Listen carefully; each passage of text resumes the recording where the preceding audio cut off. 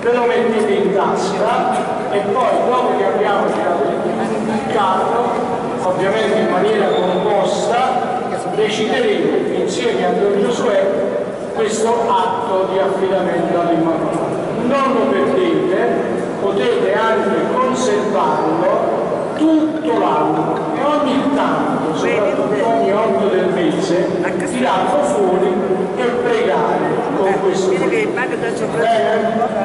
Bene?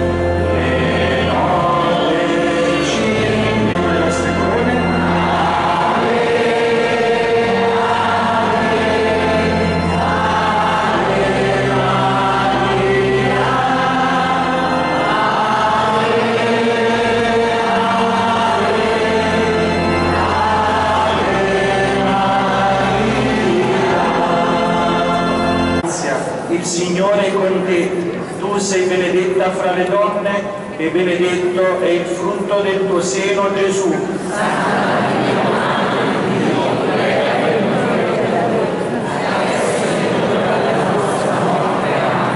Ave Maria, piena di grazia, il Signore è con te.